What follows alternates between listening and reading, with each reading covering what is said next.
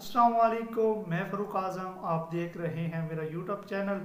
यकीनन आप अब आप खरीत से होंगे। एक वीडियो सोशल मीडिया की जीनत बनी हुई है।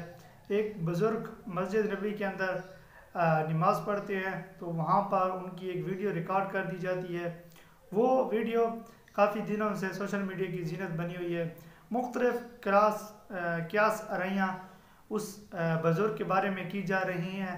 ये बाबा जी फ़लाँ से मिलते हैं, ये फ़लाँ से आए हैं तो इस हवाले से मैं आप आपको डिटेल से बताने वाला हूँ।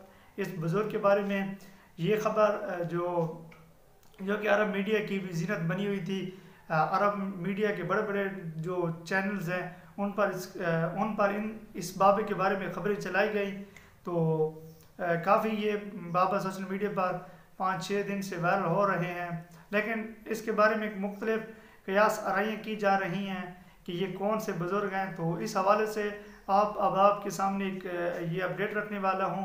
लेकिन इससे पहले अगर आपने अभी तक मेरे चैनल को सब्सक्राइब नहीं किया तो चैनल को जल्दी जल्दी सब्सक्राइब कर लें और ब्लैकन के बटन पर क्लिक कर दें ताकि हमारा आपस में रबता जुड़ा रहे।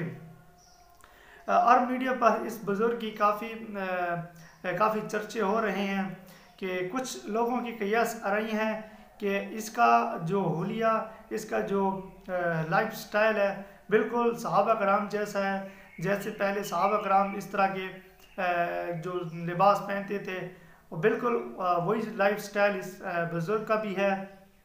यह भी ख्याल किया जा रहा है कि ये हज़रत खज़र सलाम हैं। कुछ लोगों की कयास आरई हैं कि ये बुज़ुर्ग, जो कि हजूर सलाम के दौर से आए हैं कुछ लोगों का कहना है कहना है कि ये ललतुल्क़दर की ख़ास नेमत है जो कि हमको मिली है। लेकिन मुख्तलि लोगों की कयास आरइयाँ हैं। ये काफ़ी वायरल हो चुकी है।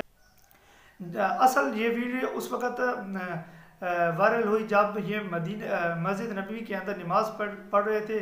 फिर जैसे मस्जिद नबी से नमाज़ पढ़ के बाहर आए तो उसका आखिरी दिन था इस बुज़ुर्ग का क्योंकि वो उम्र पे गए हुए थे, और उसका आखिरी दिन ये काफ़ी वायरल हो चुकी है, लेकिन इसकी हकीकत अभी तक खुलकर सामने नहीं आई कि ये कौन बुज़ुर्ग हैं, कहाँ से आए हैं, किस मुल्क से हैं। वाकई ये कोई अल्लाह की तरफ़ से भेजी हुई नेमत है, या कोई सहाबा कराम में से हैं, या कोई और चीज़ है, लेकिन इसके बारे में अभी तक परफेक्ट खबर नहीं आई।